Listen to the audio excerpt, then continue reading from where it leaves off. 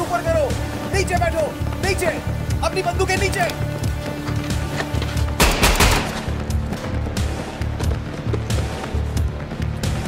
Clear clear clear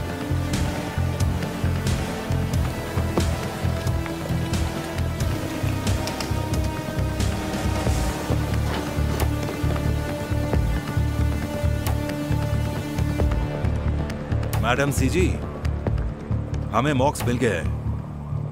हाँ हाँ ज़रूर। न्यूक्लियर प्लांट से एक टीम इसकी जाँच करने आ रही है। ऐसा ऐसा हमें लग रहा है।